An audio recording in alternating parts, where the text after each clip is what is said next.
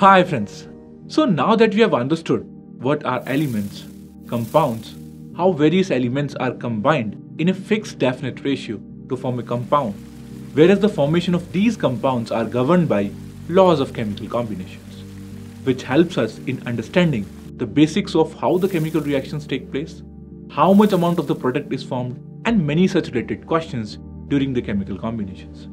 Like in the first law of chemical combination, that is, the law of conservation of mass, Antony Lavoisier stated that the mass is neither created nor destroyed in the chemical reaction. Whereas in the second law of chemical combination, that is, the law of definite proportion, Joseph L. Proust wonderfully explains that in any chemical substance, the element is always present in a fixed definite proportion by mass.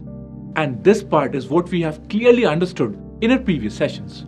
However, these laws still need some proper explanation and experimental evidence. And that is why in 1808, an English chemist, John Dalton, proposed a theory which is known as Dalton's atomic theory.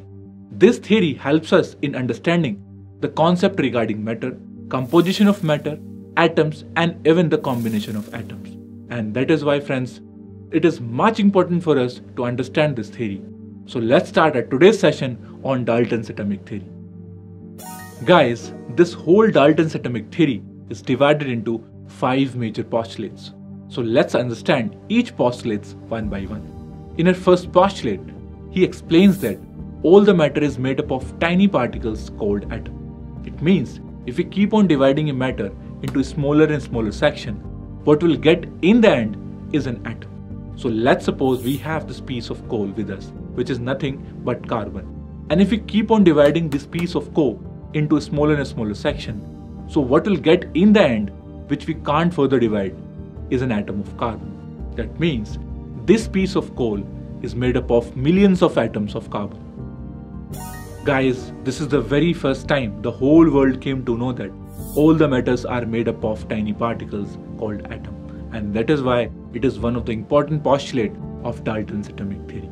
And now if you see the second postulate of this theory, then in the second postulate, he explains that atom is indivisible. That means it can't be created or destroyed in the chemical reaction. So atom is like the fundamental units, dividing them further is not possible. Also, two or more than two atoms may combine to form a new unit. However, no new atom will be created or the existing one will be destroyed. Let's take an example and understand it. Suppose any element A reacts with any element B to form a compound C. Friends, according to second postulate, no new atom will be formed during the formation of compound C because this compound C is formed by the combination of atoms of A and B. That means during this chemical reaction, no new atom is formed, whereas the existing one is also not destroyed. That is, if 5 atoms of element A reacts with 5 atom of element B, it will form 5 different units of compound C. And now in this, if you see, the number of atoms before the reaction is equals to the number of atoms present after the reaction. That means 5 atoms of A is present initially also and the 5 atoms of A is also present after the reaction. Therefore, this postulate has a very key role in explaining that how different atoms are combined to form compounds.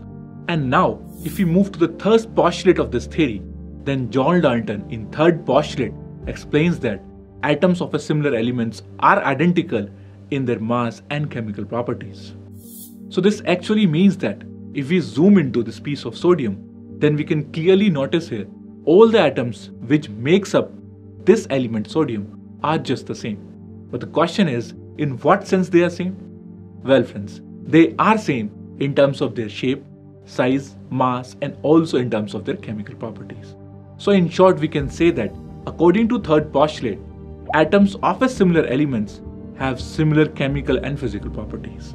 And also associated to this third postulate, we have our fourth postulate, in which John Dalton explains that atoms from the different elements have different masses and chemical properties.